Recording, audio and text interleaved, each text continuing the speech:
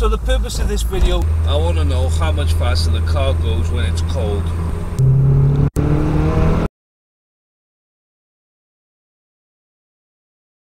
So what we did was six runs, three runs in each direction, each in each direction to eliminate the effect of wind and to eliminate any effects of gradient, private road.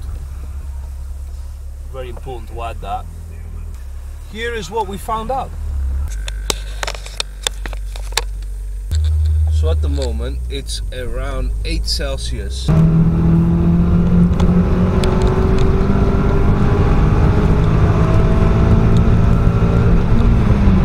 Okay, so we've got the acceleration runs. I'm just going to take car out the performance box, go in, um, and then have a look at the acceleration times. I'll put the temperature on it, and then later today, this afternoon, we'll come back and we'll do it when it's um, warmer.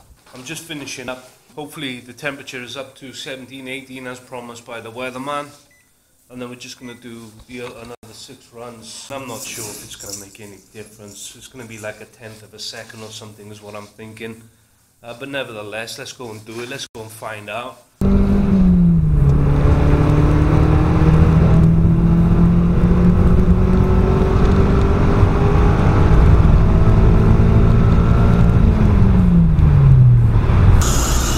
That's it, that's all the runs done.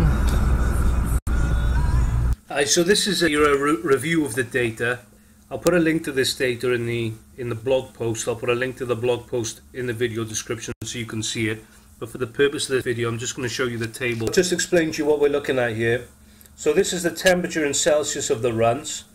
And this is the acceleration time from 115 to 140 kilometers an hour.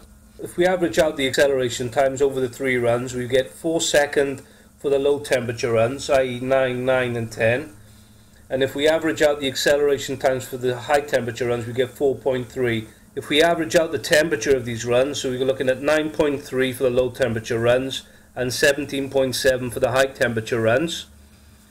So the acceleration time difference between the two sets of runs was 0.3 seconds and the temperature difference was 8.3 Celsius the car is 7% slower for an 8.3 Celsius change in temperature which in my opinion is massive. So there's the figures. Like I said, I'll put a link to all this in the uh, blog post so you can take a closer look at it. It's pretty conclusive, you know. Temperature makes a huge difference to, to acceleration times.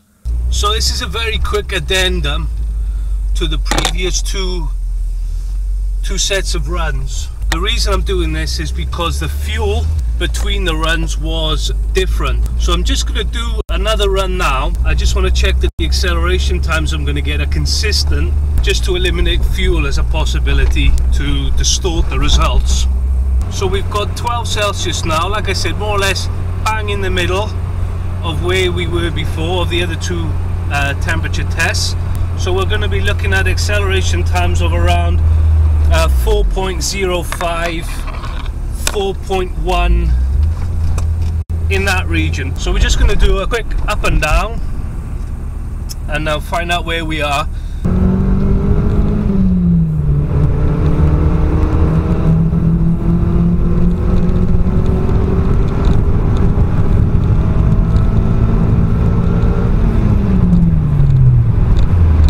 No word of a lie. This is this is the data that we've got the average acceleration time at 12 Celsius, bordering on 11 Celsius, is 4.0 seconds. Almost exactly what we would expect it to be. So we're going to be looking at acceleration times of around uh, 4.05, 4.1. Nothing changed uh, except the uh, fuel from one gas station, one from another and you can see here it's made absolutely no difference. It's exactly what we would expect at 12 Celsius. The car is 7% slower for an 8.3 Celsius change in temperature.